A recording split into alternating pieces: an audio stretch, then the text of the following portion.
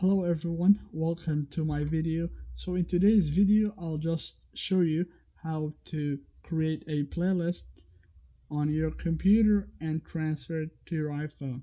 Well, um, why I'm doing this over and over again? Well, I'm doing it because iTunes, you know, changed and it's really complicated. A lot of people don't know like what to do uh, when it's updated. But now um, I'm going to show you how to do that and it's going to be easy you know. You don't have to worry about anything. So just plug in your uh, your iPhone to your laptop or your computer and open iTunes. So let me just do that. Okay so once um, iTunes is open um, you should see um, your music playlist right here. If you don't see it, you're gonna click on this one and click on edit menu and make sure that music is checked. If I click on uh, movies and if I click on done, as you see, um, if I'm on the movie playlist, this is a different thing. Okay, so if I create a playlist right here, it will not be the music playlist and it will not get into um, my iPhone. But what I'll have to do is just make sure this one is on music.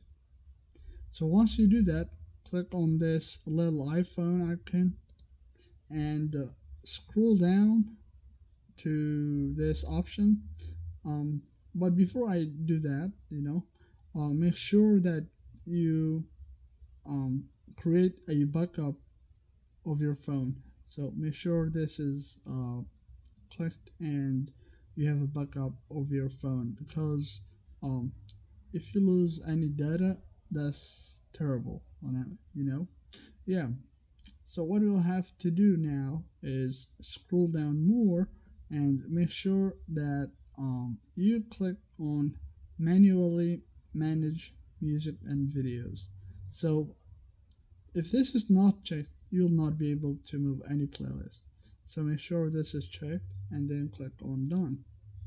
And then right here, right click on this um, empty area here and click on new playlist and name it. So I'm going to name it songs and right now I'm going to click on songs and I'm going to transfer some music files so let me see where are my music files? Yeah I have them right here. So I'm just going to select them all and I'm going to drag and drop inside my playlist. And once I do that I'll just um, drag this playlist into my iPhone. So here is my iPhone. As you see it says Jack's iPhone so I'll have to just drag and drop it. And once I do that you will see that updating files on my iPhone. And um, now I can play the songs on my phone.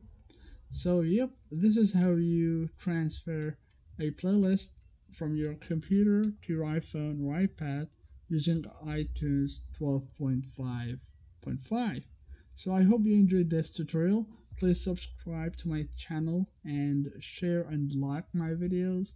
If you have any questions, just ask it and I'll do my best to answer you. If I don't answer, there might be someone, you know, who is having the same issue. So they might have solutions. So that happens. Okay, so thank you very much again and have a good one, everyone. See ya.